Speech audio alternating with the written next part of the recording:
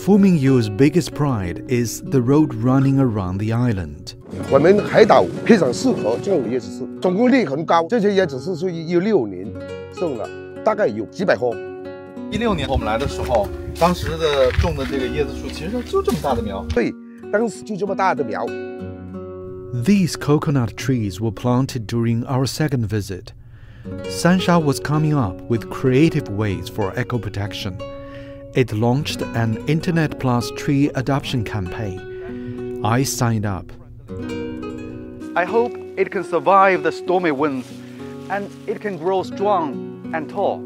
It gives me special connections here, and that's another reason that we will continue returning to Sansha. And this is that small tree in the picture.